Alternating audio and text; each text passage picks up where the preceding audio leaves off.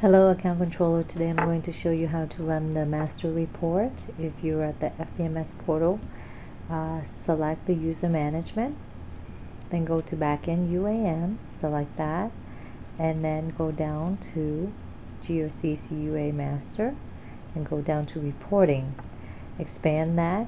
You will see the go down and you will see the user master data report right here. Select that and it gets you to the back end.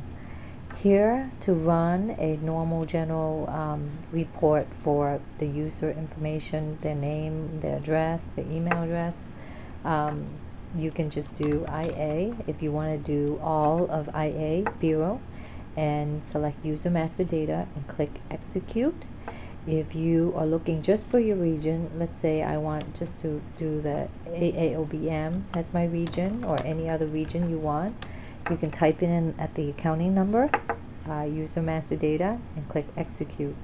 Uh, I'll do that as an example and it will show up the name the address uh, and other information.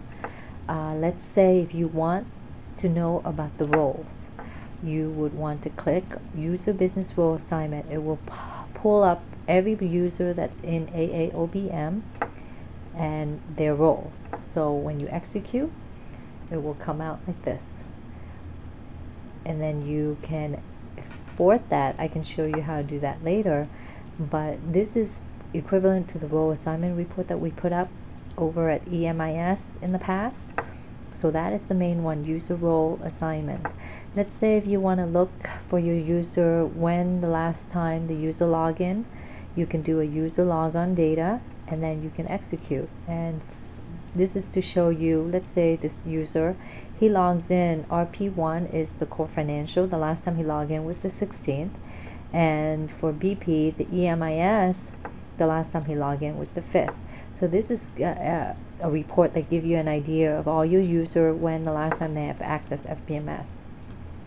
Now, if you want a copy of your report um, on your desktop, make sure you select uh, the download under download file and put wherever you want to put the file. To me, I wanted to put it, for me, I wanted to put under my desktop. So I always do a double check and then um, select the desktop here and name it, open it, and then once it sets in, I execute it and it will save, give me a copy in my desktop. Also, another way you can do this is when you execute this under just the logon, when you execute this, you can go to edit and then let me see if this has it. Um, actually, list. The list export and to your spreadsheet or local file. Once you do the export, you can save it and you can open that file later. Um, one other thing I wanted to show you in this backend report is another thing, the new one for GRC 10, they created this GRC request.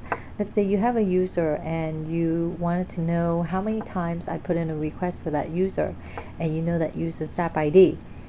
So let's say for me, I'm putting my SAP ID in here and then I click execute. It will show up my ID and all these GRC request number that happened in the past few months. It's going to be the most recent one starting um, go live for GRC 10 in November to now to the current.